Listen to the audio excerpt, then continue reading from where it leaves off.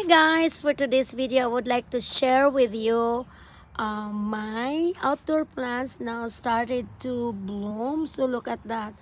It's really pretty. These um, outdoor flowers, guys, is gonna um, not really big. This kind of uh, outdoor plants. See, but it's really pretty. Look at the color and this one is another color. Uh yeah. One. And the other one is over here. That one.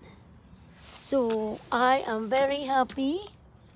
It started. It's too early. Seems like a small one.